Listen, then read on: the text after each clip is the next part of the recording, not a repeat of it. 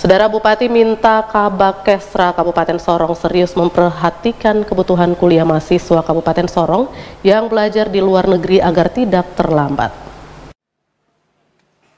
Permintaan Bupati Joni Kamuru disampaikan pada acara rotasi ratusan pejabat eselon 2, 3, dan 4 di lingkup Pemda Kabupaten Sorong 27 Juli 2022 di Hotel Aquarius Aimas.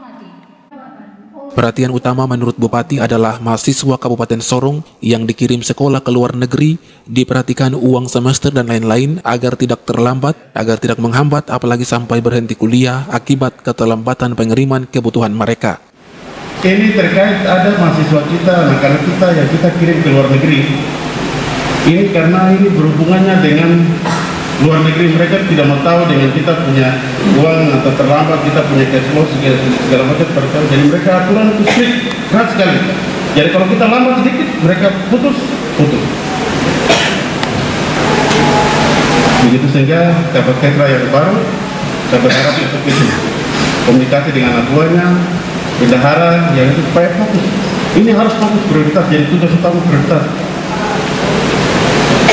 Ini kalau kabar misalnya dengan stafnya sedikit apa lengah sedikit saja bisa akan jadi masalah.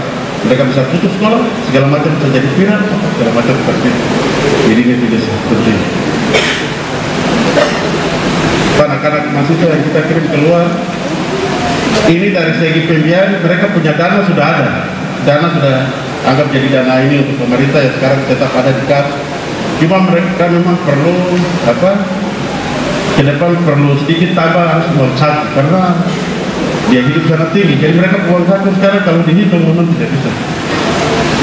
Terlambat sekali. Apa? Tidak cukup.